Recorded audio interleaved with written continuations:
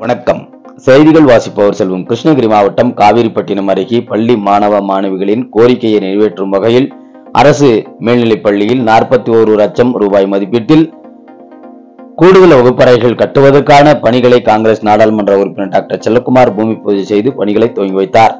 கிருஷ்ணகிரி மாவட்டம் காவிரிப்பட்டினம் அருகே உள்ள கிராமப்புறம் அரசு உயர்நிலைப் பள்ளியில் படிக்கின்ற மாணவ மாணவிகளின் இடம் பற்றாக்குறையை போக்கிட பள்ளிக்கு கூடுதலாக இரண்டு வகுப்பறைகள் வேண்டும் என மாணவ மாணவிகளின் நீண்ட நாள் கோரிக்கையாக இருந்து வந்தது. இந்த நிலையில் மாணவ மாணவிகளின் கோரிக்கை ஏற்று நிறைவேற்றிடும் வகையில் கிருஷ்ணகிரி பாராளுமன்ற தொகுதி மேம்பாட்டு நிதியிலிருந்து சுமார் நாற்பத்தி ஒரு லட்சம் நிதி ஒதுக்கீடு செய்யப்பட்டு இதனையடுத்து கூடுதல் வகுப்பறைகள் கட்டுவதற்கான பூமி பூஜை பள்ளி வளாகத்தில் நடைபெற்றது.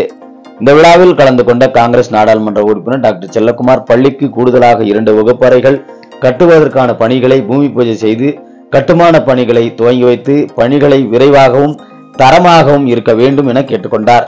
அப்பொழுது நீண்ட நாள் கோரிக்கையை டாக்டர் செல்லக்குமார் நிறைவேற்றி வைத்ததால் பள்ளி மாணவ மாணவிகளின் தங்களது நன்றியை தெரிவித்துக் கொண்டனர்.